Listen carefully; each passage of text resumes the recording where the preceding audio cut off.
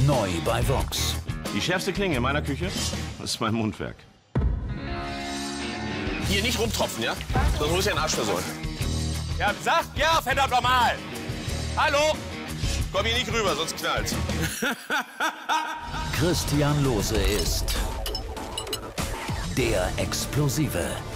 Game of Chefs ab 24. Februar.